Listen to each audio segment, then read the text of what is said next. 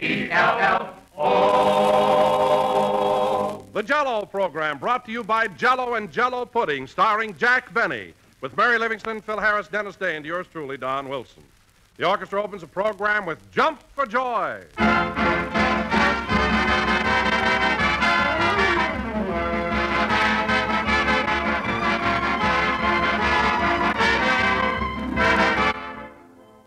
Rich, thrilling enjoyment you get from today's new Jello. Now made better than ever by Jello's wonderful locked in flavor.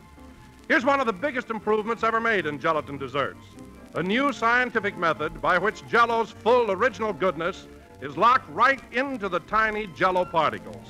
The gelatin desserts you used to buy continually lost flavor during the days they spent in the package.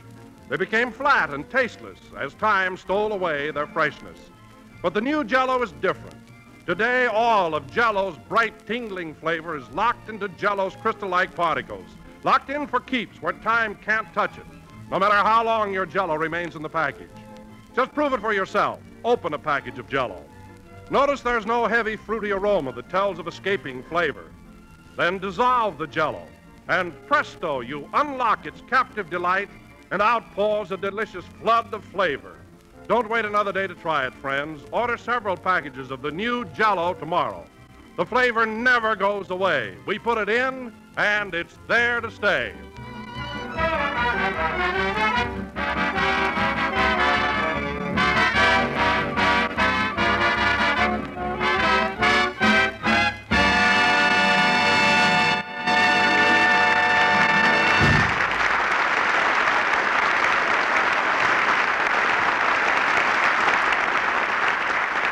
That was Jump for Joy, played by the orchestra. And now, ladies and gentlemen, as you all know, next Thursday is Thanksgiving, and no doubt most of you will have turkey for dinner. That's right. So this evening, without further ado, we bring you a chestnut for your dressing, Jack Benny.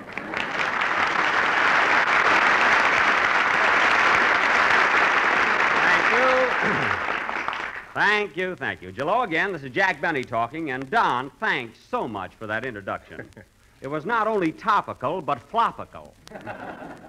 Chestnut for your dressing. Well, in my opinion, Jack, it was a very clever gag. I thought of it all by myself while I was shaving this morning. And you didn't cut your throat? I can't understand it. Anyhow, Don, it'll uh, soon be Thanksgiving, and I love you. By the way, uh, would you and the little woman like to come over to my house next Thursday for a nice wild duck dinner? Thanks, Jack. We'll be very glad to. Wild duck, huh? Yep, I went hunting yesterday morning, and as usual, I brought home the limit three ducks. Beauties, too. huh? But, Jack, the limit is ten ducks. Oh, I mean on one shot, Don. I. you see, I don't go out hunting and bang away like it's Fourth of July, you know. Three ducks with one shot. My goodness, I had no idea you were such an expert hunter. Oh, sure, Don. For me, that's nothing, you know. Well, I'd say that's darn good. By the way, Jack, what kind of a gun do you use? My my gun? Oh, it's just a plain, ordinary, double-breasted shotgun.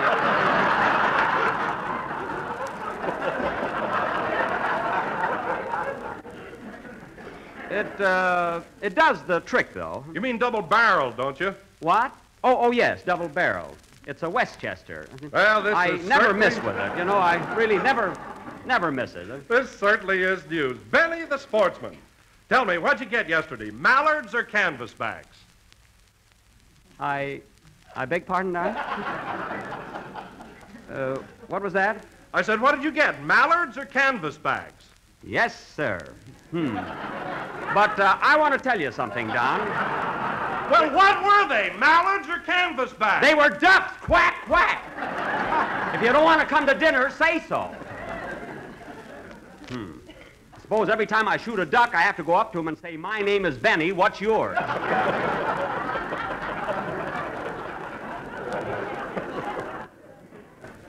oh, don't be ridiculous. Well, I'm sorry, Jack. I didn't mean to. Okay, okay, forget it. But believe me, Don, there's no thrill in the world like getting out at 5 in the morning, hopping into that rowboat, and waiting for those ducks to fly by. Yes, there's no question about it. That's real excitement. By the way, Jack, uh, do you use a retriever?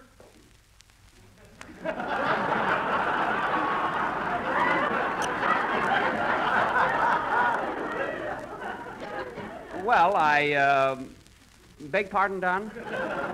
Do I use a what? A retriever, you know, a dog that swims out and gets the ducks after you shoot them. A dog, a dog that swims.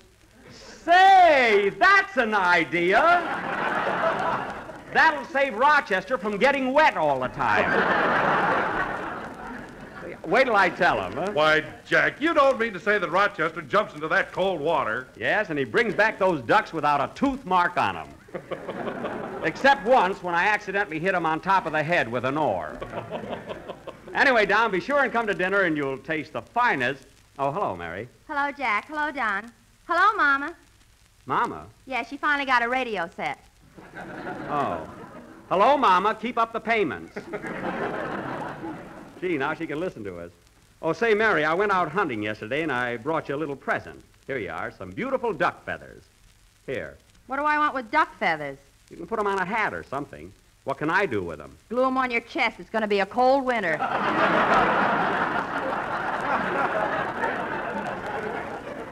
Uh, they'll just fit on my tattooed eagle. I can go along with a gag, sister.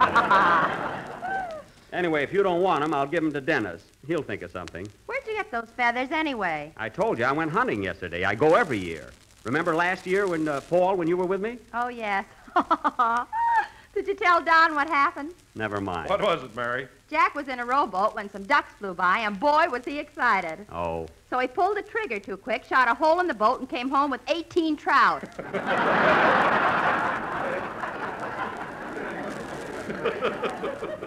Well, they were delicious. Fried in butter. and the way he explained that hole to the owner of the boat. Well, it could have happened. It could not. It could, too. How can a boat be torpedoed in Lake Henshaw?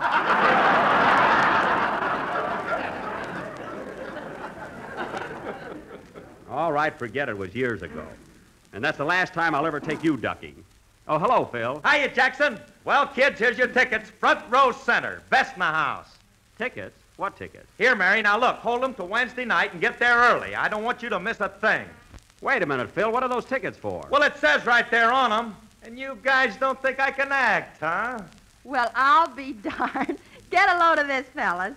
The Hollywood Night School, third grade dramatic club, invite you to a special Thanksgiving play entitled The Courtship of Miles Standish.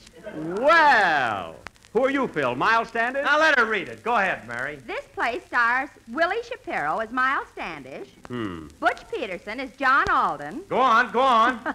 and Philip Harris as Priscilla.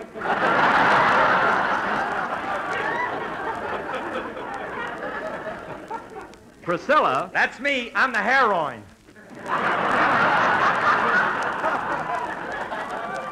That's heroin.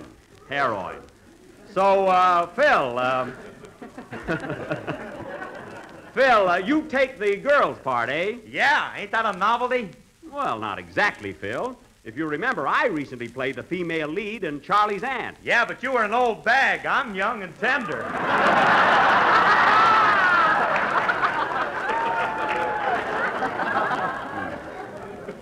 Listen, Harris, I'll put on a sweater with you any day.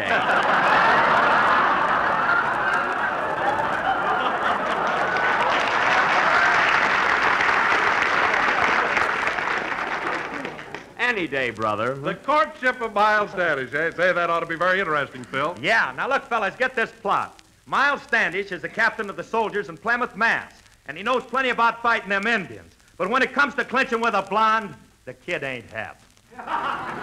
Uh-huh. Anyhow, Captain Standish sees this beautiful doll, Priscilla. That's me with my curls combed out. Hmm. And I'm sitting by the window in my cottage spinning the wheel. What are you doing, playing roulette? I don't know it, don't say.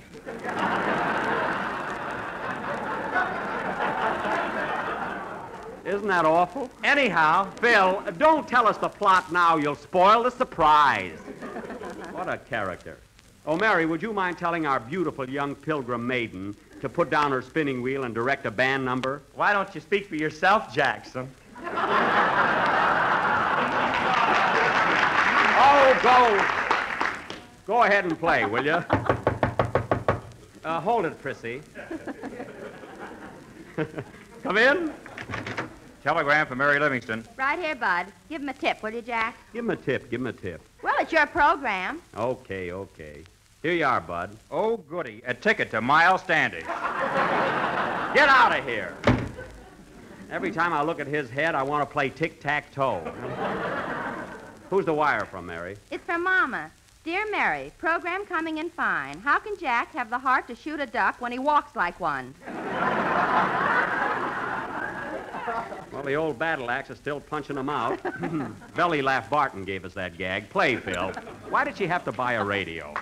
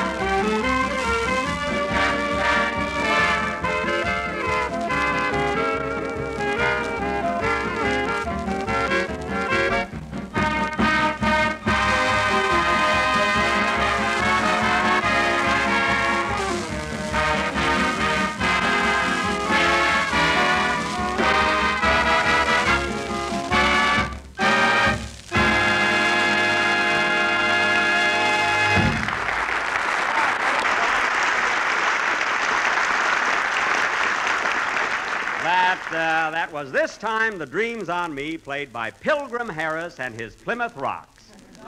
Plymouth meaning the boys have landed musically, and rocks meaning I wish I had some.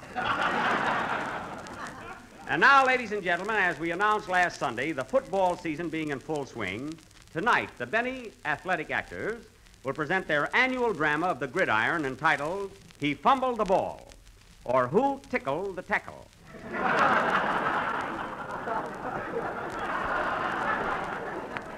Now, as usual, I will play the part of Dennis. Dennis, I wish you'd get here on time. I'm sorry I'm late, Mr. Benny, but I couldn't find a place to park my car. Dennis, you don't have to drive around the streets all day. There's a parking lot next door where you can leave your car for 15 cents. How do you know? I heard about it. I can go along with a gag. Now, where was I? Say, Mr. Benny, What? I heard a broadcast last night that made my blood boil. It ought to burn you up, too. Why, who was funny? I mean, what, uh. well, what do you mean? Well, I was over at my girl's house necking with her, and she got bored and turned on the radio. Well, naturally. So? So we listened, and there was a guy on the air that sounded just like you, and he even used your name, Jack Benny. Uh, Dennis, uh, that was me on the air last night. I was doing a special broadcast for NBC's 15th anniversary. Then who played the part of Don Wilson? That was Wilson himself. And if you'd have been with us, I'd still have to explain it to you. Gosh, was that really you and Don? Certainly, we did a comedy act. And now, ladies and gentlemen, Gee, it was so lousy I couldn't believe it.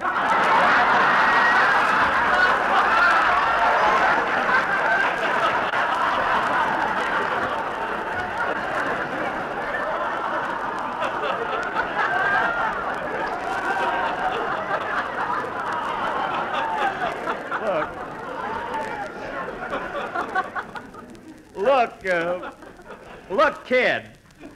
Kid, you just, you just didn't get the idea of our act. We were very good. Then why did my girl turn off the radio and go back to me? I don't know. What a kid. And now, ladies and gentlemen, getting back to our drama, I will play the part of Flash Benny, the famous football coach of Flatfoot College. Oh, Jack, why don't you let someone else be the coach? You don't know anything about football. I don't, eh? Let me tell you something. When I was on the team at Waukegan High, they used to call me Tiger Benny. That's because you scratched everybody with your long fingernails. They called me Tiger because when I played, I was a snarling, vicious animal. Like on payday?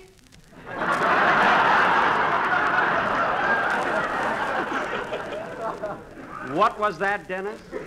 What was that? Watch out for those fingernails, kid. Oh, quiet. Now let's get back to our casting. Phil, you're going to be right end. Dennis, you're going to be left end. And Don, Yes, Jack. you're going to be everybody in between. So loosen your belt. Now, Mary. You mean I'm going to be right guard, left guard, right tackle, left tackle, and center? Yes. Well, I must be quite an actor. Uh, take it any way you want to. Uh, now, Mary, inasmuch as we're short of men, uh, you'll have to play on the team, too. I'm not going to be a man. You are, too. I'm not going to wear football pants. And you're going to wear football pants. They better have lace on them. Never mind. Ooh, what she said.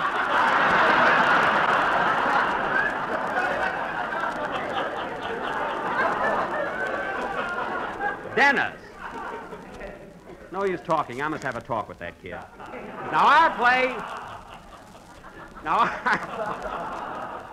Dennis, did you ever see Our Wilderness? You must see it sometime. Now, our, um, our play, ladies and gentlemen, will go on immediately after. I'll take it.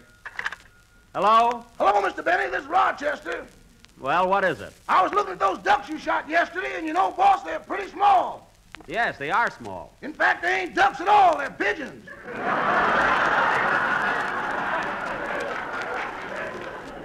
Look, Rochester, I ought to know what I shot. What makes you think they're pigeons? One of them's got a message on his right leg. What? Just took Manila. Signed Dewey.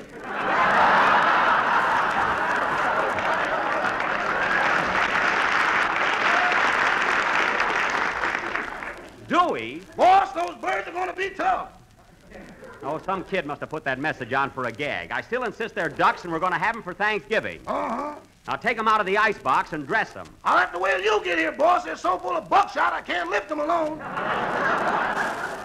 Well, then, then ask Mr. Billingsley to help you. Where is he? He took the message, and he's flying to Washington.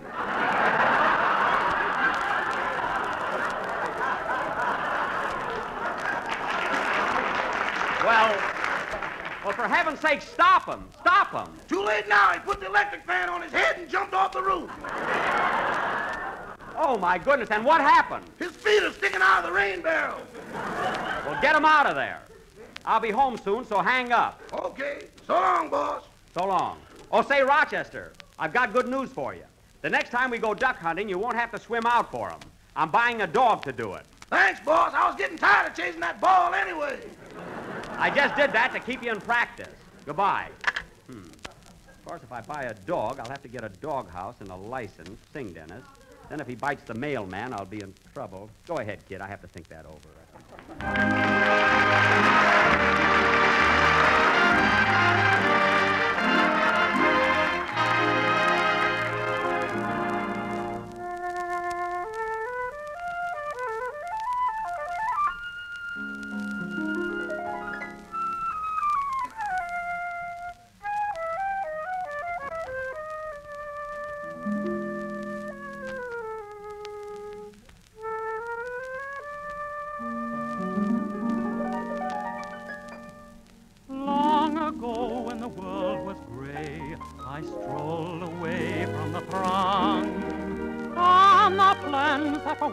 So gay, and gone the hopes held so long.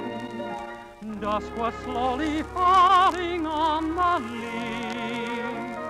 The birds were hushed in every tree. Suddenly,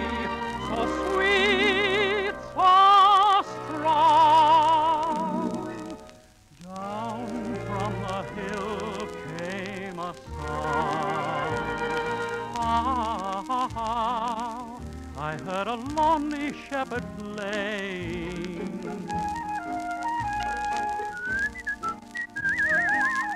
It was a haunting melody. Ah, ha, ha, ha, I heard the music clearly say. Ah, ha, ha, that he was happy as could be. He played and he played, the world was forgotten. Like castles in air, my every care began to fade.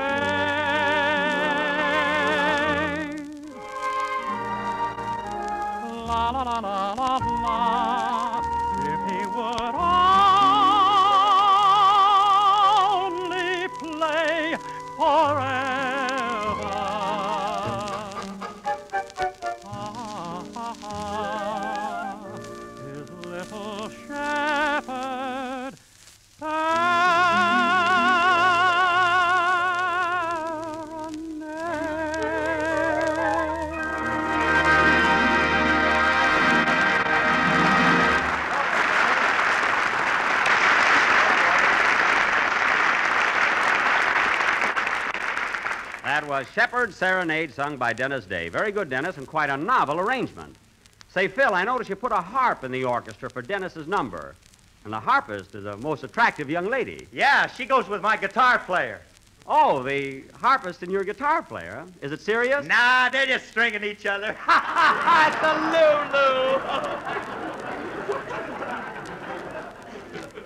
Lulu. Oh, Priscilla. Mmm. And now, ladies and gentlemen, for our drama of the gridiron entitled We Can't Lose. Or We Can't, eh? the scene is Flatfoot College in the town of Friends.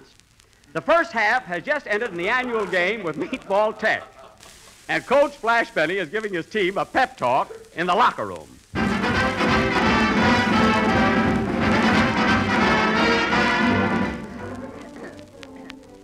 Now, listen, men. In this next half, we got to go out there and fight. You're playing like a bunch of jellyfish. You've been out there 30 minutes, and what's the score? I ask you, what's the score? Notre Dame 7, Northwestern 6. That's the trouble with you guys. You're not concentrating on this game. Now, I don't want that portable radio out in the field while we're playing.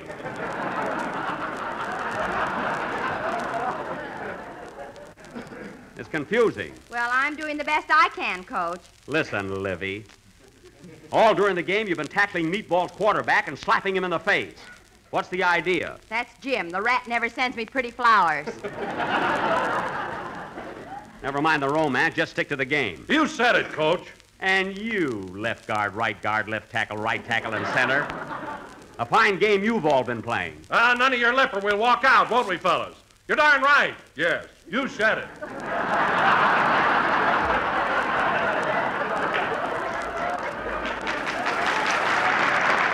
Now, now cut that out. And you, Day. Yes, Coach? Every time you get the ball, you fall down. Why don't you run? I keep tripping over the lace on my pants. You're wearing the wrong one. Now, look, men. We've still got a chance. The game isn't over. All we got to do is get rolling. Why, the score is only, only 65 to nothing. 65 to nothing. Hey, when did we get a nothing? We started with that. Now, come on, men. I'm going to play with you this next half and show you something about football. We'll win this game, or my name ain't Roy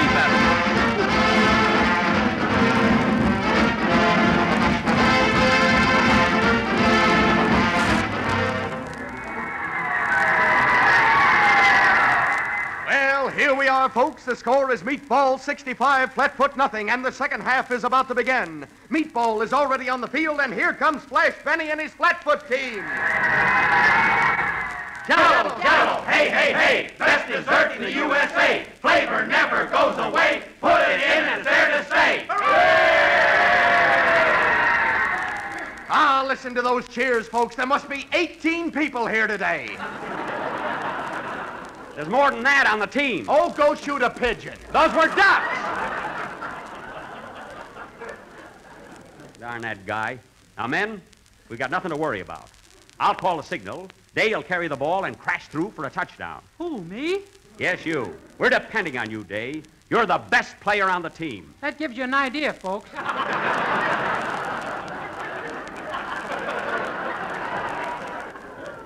All right, men, let's go. Here we go, folks. Meatball's about to kick off. Flatfoot's lining up to receive. And there's the whistle.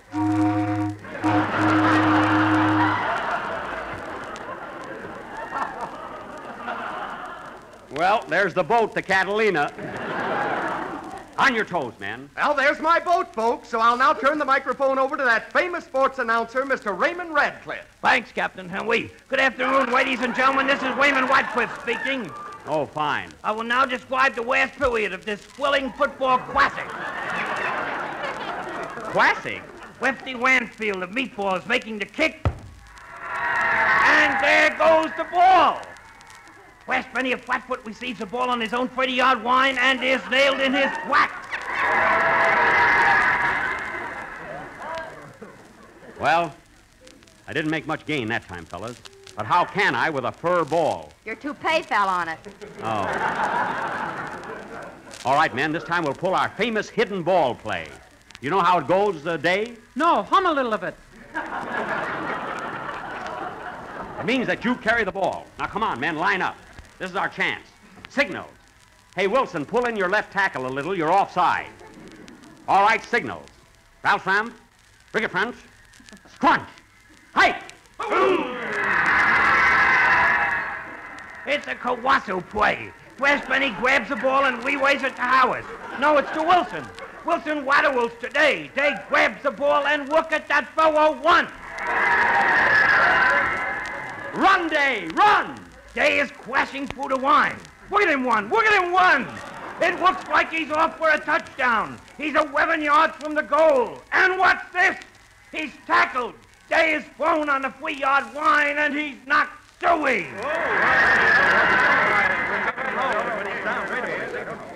Oh, that poor kid. Oh. Oh, my goodness. He's out cold. Look at him laying there. Day, Day, speak to me. Say something. Say something. Uh, A truck hit me. Get the license number. Oh, for crying out loud. Play, Phil.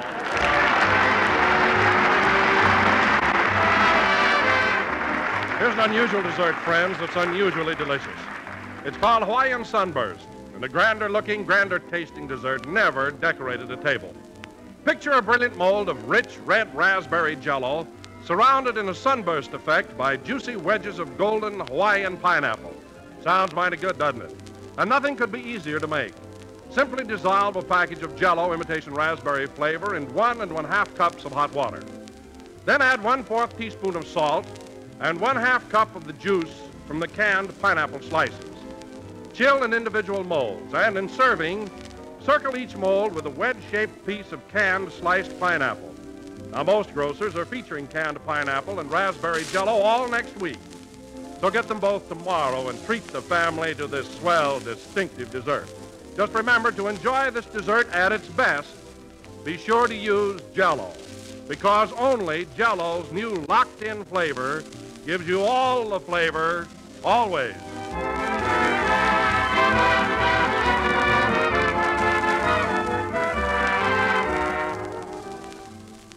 This is the last number, I mean the last number of the seventh program in the current Jello series. And we'll be with you again next Sunday night at the same time. I want to wish all of you a very happy Thanksgiving. Say, Mary, I'm having a big Thanksgiving dinner Thursday at my house. Would you like to join us? Who's coming?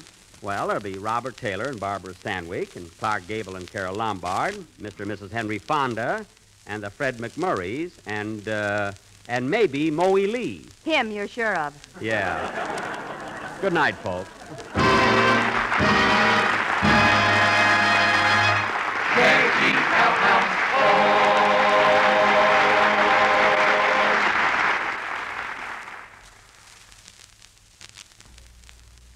Know how delicious, how downright good Jello is. Well, you'll feel just the same way about Jello puddings. Three luscious, creamy puddings that are made by the same people who make Jello.